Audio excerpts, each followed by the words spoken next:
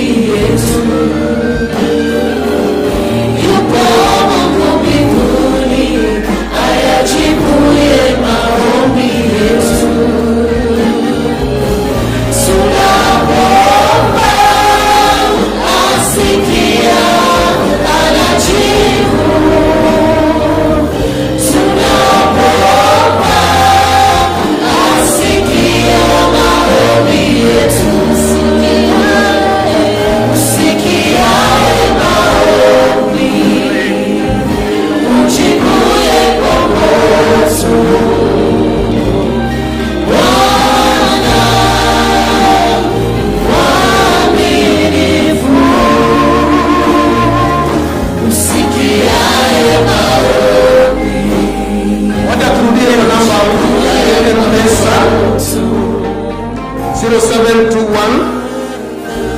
0721 84 84 31 44 21 0721 84 31 44 Ernest Ngeno.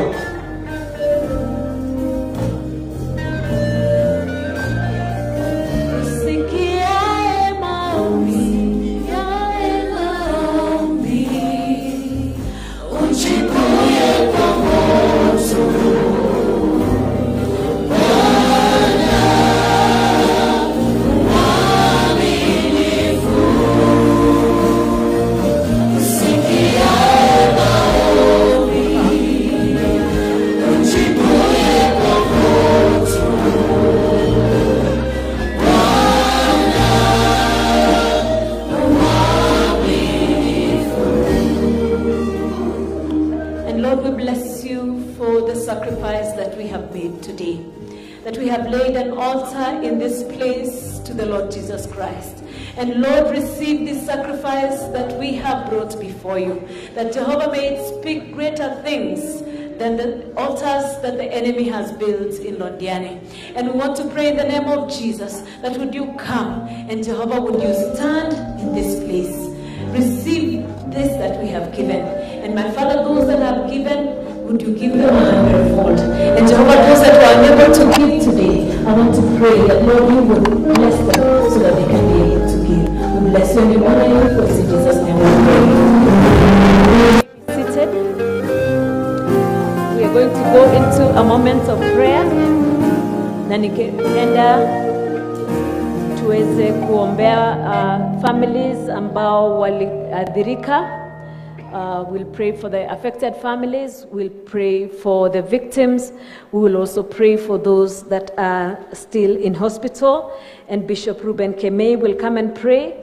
And then we will pray for the rescue teams. We know often you get forgotten, madaktari, polisi, Red Cross, wale ambao waliona things that no human should see.